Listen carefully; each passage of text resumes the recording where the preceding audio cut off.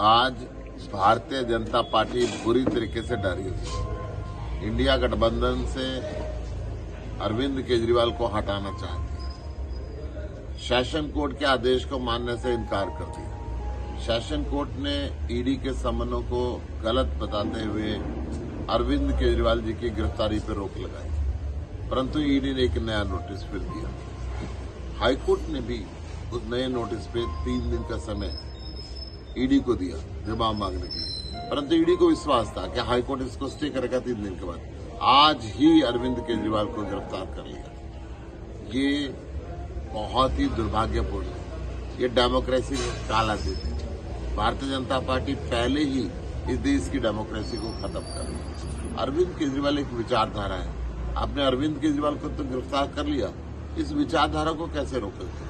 सारा हिंदुस्तान अब विकसित हिंदुस्तान चाहता है। शिक्षित हिंदुस्तान चाहते हैं। आम आदमी पार्टी हरियाणा ने तय किया है, अरविंद केजरीवाल जी की गिरफ्तारी के विरोध में, कल सुबह 11 बजे। हरियाणा के मुख्यमंत्री नायब सिंह के घर का घेराव करेंगे कुरुक्षेत्र में। सेक्टर तीन कुरुक्षेत्र में कल सुबह 11 बजे। हरियाणा के सभी साथियों से अपील है, कुरुक्षेत्र पहुँचे और मुख्यमंत्री के आवास का घेराव करें। जय हिंद। आज भारतीय जनता पार्टी बुरी तरीके से डरी हुई है। इंडिया गठबंधन से अरविंद केजरीवाल को हटाना चाहती है। सेशन कोर्ट के आदेश को मानने से इनकार कर दिया।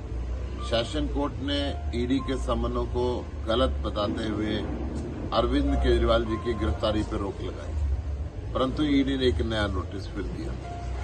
हाईकोर्ट ने भी उस नए नोटिस पे तीन दिन का समय ईडी को दिया, जवाब मांगने के लिए। परंतु ईडी को विश्वास था कि हाईकोर्ट इसको स्टे करेगा तीन दिन के बाद। आज ही अरविंद केजरीवाल को गिरफ़्तार कर लिया। ये बहुत ही दुर्भाग्यपूर्ण है। ये डेमोक्रेसी में काला दिन है भारतीय जनता पार्टी पहले ही इस देश की डेमोक्रेसी को खत्म कर रही अरविंद केजरीवाल एक विचारधारा है। आपने अरविंद केजरीवाल को तो गिरफ़्तार कर लिया। इस विचारधारा को कैसे रोकोगे? सारा हिंदुस्तान अब विकसित हिंदुस्तान चाहता है। शिक्षित हिंदुस्तान चाहते हैं। आम आदमी पार्टी हरियाणा ने तय किया है, अरविंद केजरीवाल जी की गिरफ्तारी के विरोध में कल सुबह 11 बजे।